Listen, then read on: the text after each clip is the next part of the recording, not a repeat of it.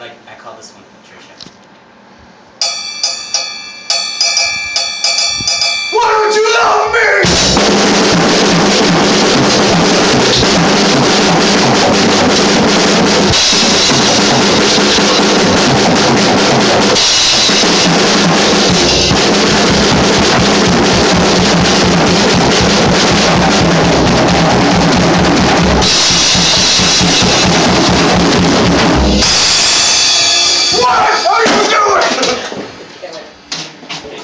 I like the song.